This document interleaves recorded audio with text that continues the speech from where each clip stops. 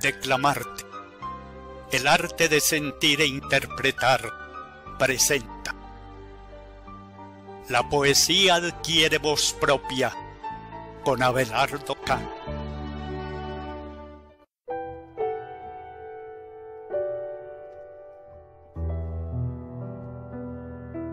El breve amor, Julio Cortázar.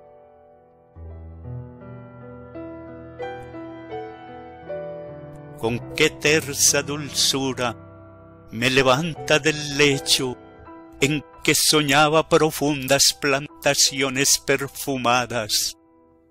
Me pasea los dedos por la piel y me dibuja en el espacio, en vil, hasta que el beso se posa curvo y recurrente, para que a fuego lento empiece la danza cadenciosa de la hoguera, tejiéndose en ráfagas, en hélices, ir y venir de un huracán de humo.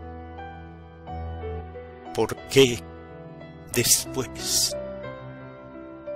Lo que queda de mí es solo un anegarse entre las cenizas, sin un adiós, sin nada más que el gesto de liberar las manos